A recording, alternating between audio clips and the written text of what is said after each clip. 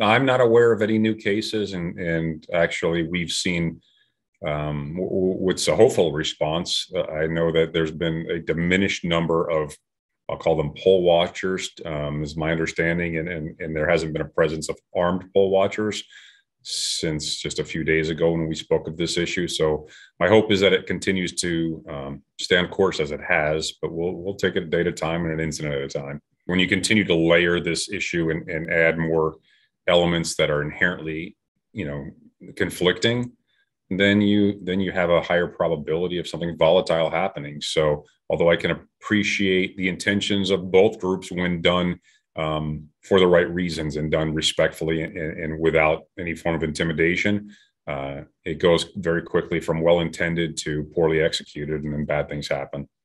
Nice to meet you. Hi. Hi, how are you? How are you?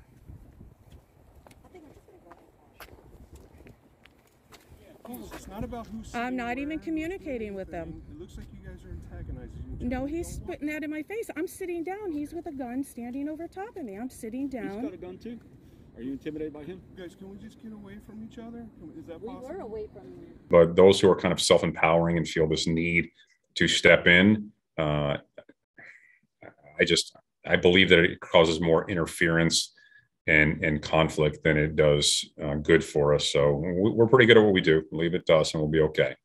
It is a um, it is a growing toxic problem where individuals feel that it is appropriate to use forms of intimidation and threats to try to influence political outcomes. They are jeopardizing the safety and the well-being of of good public servants and volunteers and others who work in this capacity that come from all walks of life. And the focus is to have a, a thorough, transparent, and accurate count of the votes.